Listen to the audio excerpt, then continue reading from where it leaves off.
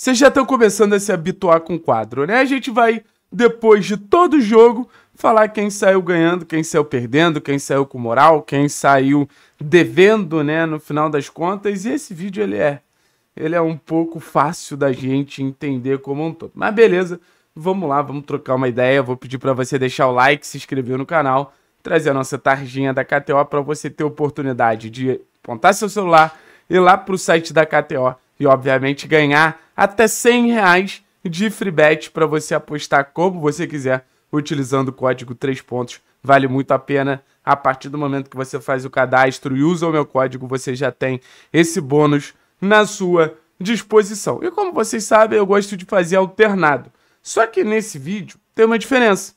Como o Atlético jogou realmente bem contra a equipe do Botafogo, eu botei dois que saíram perdendo e quatro que saíram ganhando. Costuma ser três e três, mas como a atuação foi realmente muito mais positiva do que negativa, eu fiz essa adaptação, podemos dizer assim.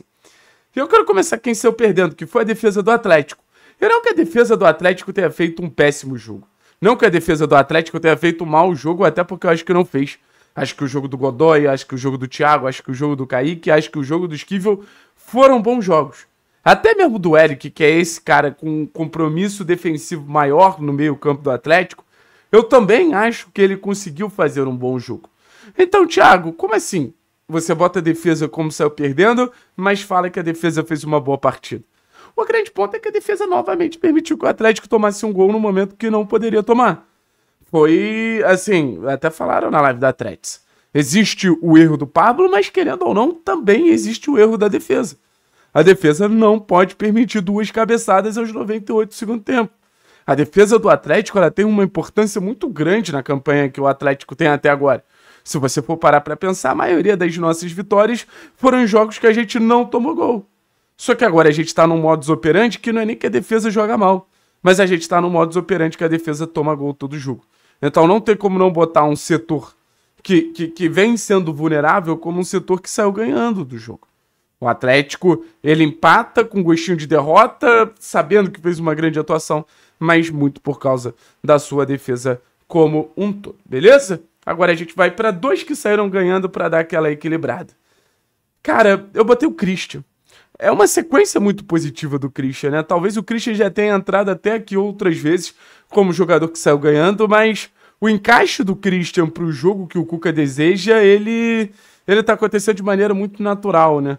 Um Christian que vem sendo uma peça que entrega mais competitividade é, no jogo sem bola, sendo um meia um pouquinho mais avançado.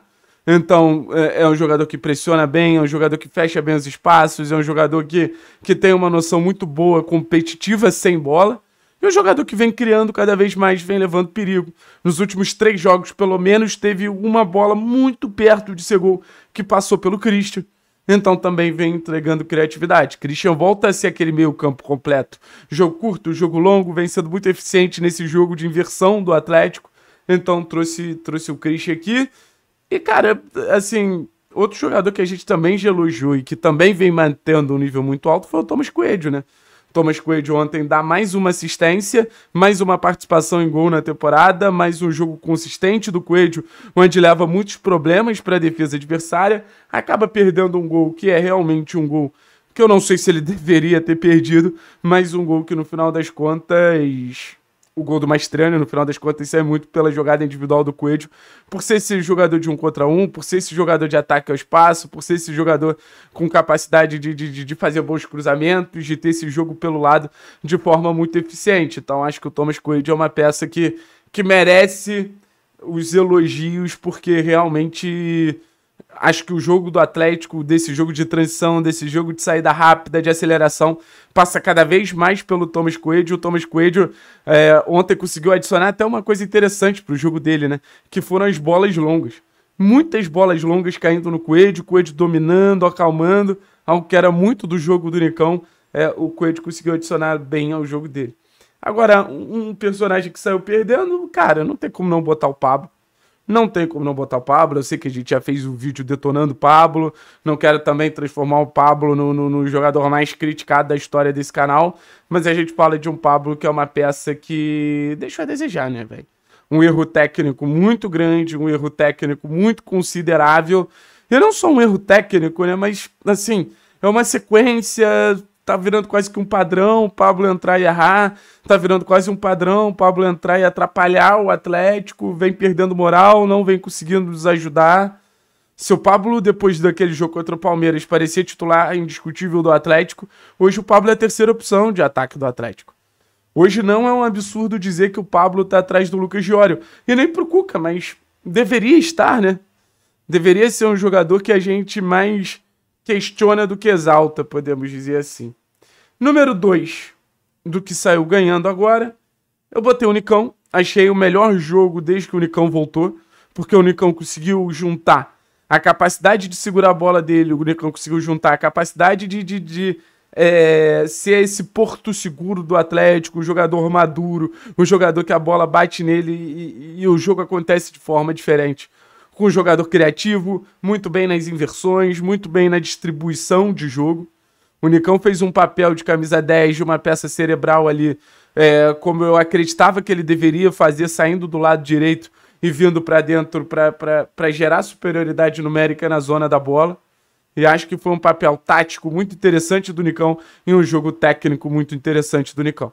Já tô, já tô vislumbrando aquele Nicão de 2020, 2021, que era a referência técnica absoluta daquele time voltar e, e novamente ter um papel muito relevante nesse Atlético. E para terminar, cara, outro jogador que eu acho que, que merece todas as exaltações possíveis, é um segundo maior artilheiro do futebol brasileiro na temporada, né? Um jogador que a gente está chegando no meio do ano e já tem 19 gols no ano. A gente exaltou tanto temporadas do Vitor Roque que tinham 24, 25 gols. O que, que a gente vai falar da temporada do Maestriani, né? Temporada absurdamente consistente. Acho que não tem nem como pedir desculpa ao Maestriani o tempo que ele ficou no banco. Porque o que esse cara entrega de dedicação, de capacidade de disputa, capacidade de luta, alinhado a uma capacidade de finalização absurda, esse cara tinha que ser titular do Atlético durante a temporada como um todo, assumiu a vaga, tenho certeza que não vai largar mais. Tenho certeza que vai ser o atacante titular do Atlético por muito tempo. E é isso, é um cara que vai tirar gols da cartola, é um cara que vai tirar gols de situações que a gente não imaginava que que o gol poderia acontecer e o Maestriani, com a sua capacidade de finalização, vai lá e acha o gol. Ah, até uma pergunta que é um pouco cruel para esse vídeo, né? Vocês acham que o Pablo teria feito aquele gol? Com todo o respeito do mundo. Vocês acham que o Pablo teria se desvencilhado ali da marcação, ter conseguido finalizar? Mas não, ter, não teria conseguido mesmo. Então, assim, é, o sistema ofensivo todo do Atlético, eu tô percebendo que eu botei como que saíram ganhando, mas acho que a gente criou bastante, acho que a gente funcionou muito bem ofensivamente, com as inversões, com essa tentativa de, de, de jogar bola no vazio. Achei um grandioso jogo do nosso Furacão. Um jogo que merecia sair com a vitória, não saiu, mas jogo que, enfim, a gente saiu mais ganhando que perdendo. A gente já falava antes do jogo que sair com o empate do Newton Santos era bom. É, acho que hum, o contexto atrapalhou muito, mas sair com o empate do Newton Santos jogando bem é uma grande notícia pro Furacão. Tamo junto, heróis. Valeu, pessoal. Calma aí. Só para você anotar de novo o código do canal 3 pontos para ir lá na KTO. Beleza? Beleza, então.